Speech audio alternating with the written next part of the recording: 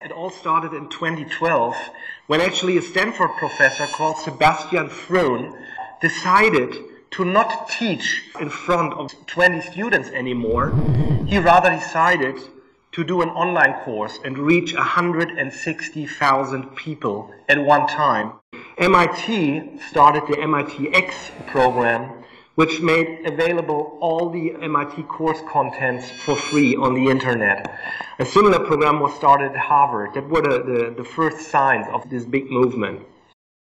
It's highly accelerating technology driven innovation.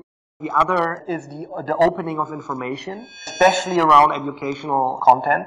The whole old school and traditional way that still existed in your year 2012 have all disappeared. Education is now fully free, accessible from anywhere in the world, and you can learn almost anything. You don't pay a dime for it. There are digital spaces, platforms you can access and you will be able to access educational content bits like a menu. People can handpick parts of different curricula and build their own curriculum.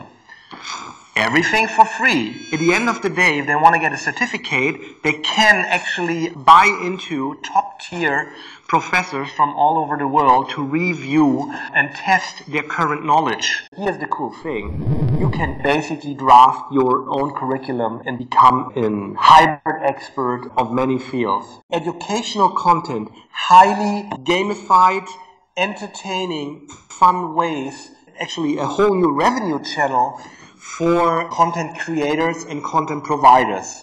This is Alexander Baumgardt. I'm speaking to you from the year 2022.